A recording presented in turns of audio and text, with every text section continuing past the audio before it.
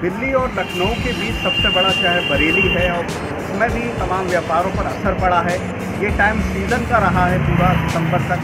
तमाम चीज़ों पर कोरोना का असर रहा खासतौर से जो ड्राई क्लीन का व्यापार है ड्राई क्लीन का जो व्यापार होता है, वो आमतौर पर कपड़ों की साफ़ सफ़ाई और तमाम चीज़ों पर डिपेंड करता है।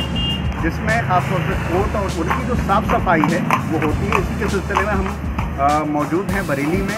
और हम एक ड्राई क्लीन की दुकान पर मौजूद हैं। आप ये देख सकते हैं मॉडर्न ड्राई क्लीन नाम भी इसका मॉडर्न है और काम भी मॉडर्न है।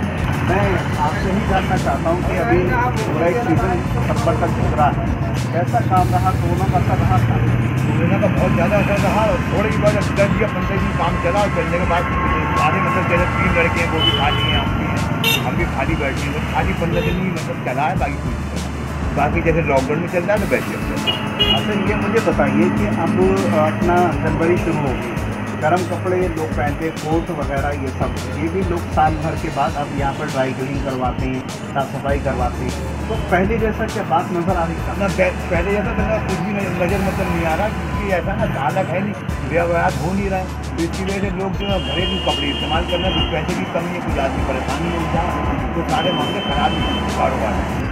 तो आपने देखा कि तमाम लोग यही कह रहे हैं कि कहीं ना कहीं बरसात का असर पड़ रहा है और इससे ये सीज़न जो है जाड़े का होता है और दिसंबर और जनवरी में ये ज़बरदस्त मौसम होता है और इसी को तमाम हर साल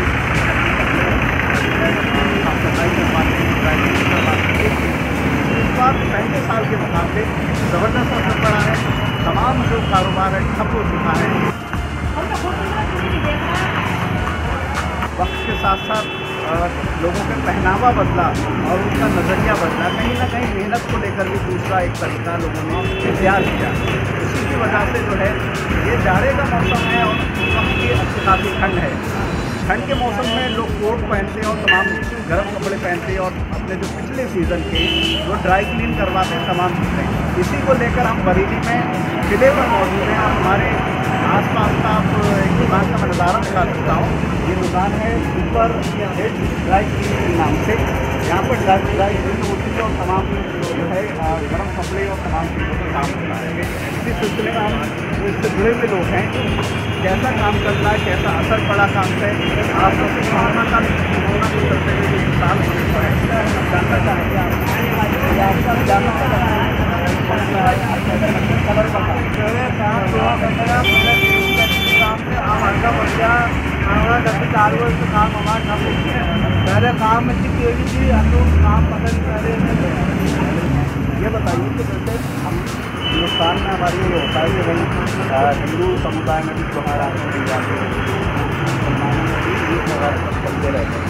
और दूसरे में जो शादियों का आता है सर्दियों पहले दिसंबर का वो कैसा पूरा एक साल होने को सब कैसा काम बना इसमें तो पहले जैसी बाहर की किसी की फ़ैन नहीं रही है और पहले जैसे भी आदमी काम कर रहा है तो सब देखते हैं। और जितनी अपनी भाई रहती है, सब काम उनका भी काम करता था, अब उसमें काम नहीं कर गया और पहले बैठा हुआ।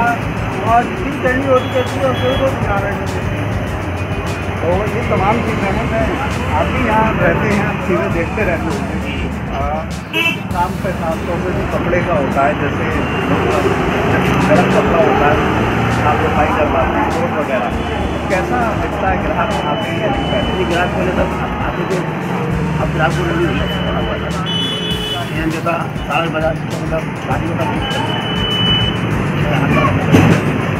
दिसंबर तक पंद्रह दिसंबर तक पूरा सीज़न रहा था। पहले ऐसी बात पहले की बात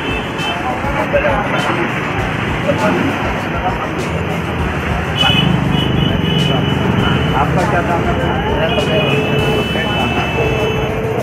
आप देखने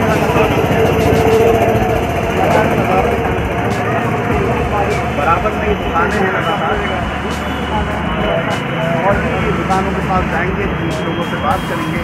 फ़िलहाल इन तमाम बातों के साथ मैं समीर अब्बास, कैमरामैन सरदार हुसैन के साथ टाटा